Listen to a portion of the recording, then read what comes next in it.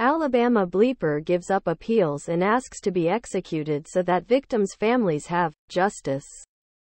NBC News A convicted bleeper on death row in Alabama told NBC News he no longer wants to delay justice for Th.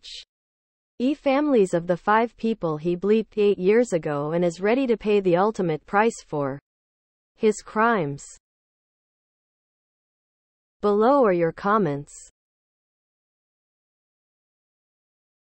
As a resident of Alabama, this man, perhaps for the first time in his life, is doing something that will benefit others than his own.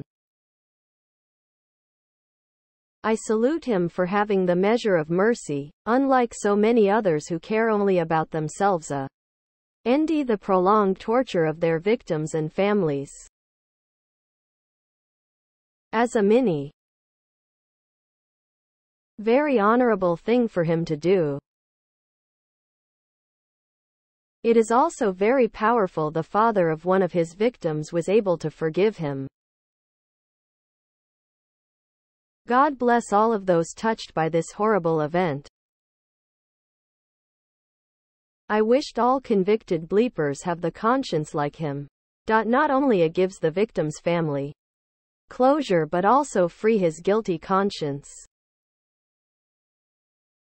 Very well said Dearman, taking responsibility for your actions. Having consideration for other people's feelings. Taking a stand firing his own attorney, then pleading guilty. Only if he had a second chance to prove himself. Maybe in the next life. Please subscribe to my channel. And if you like it, please thumbs up.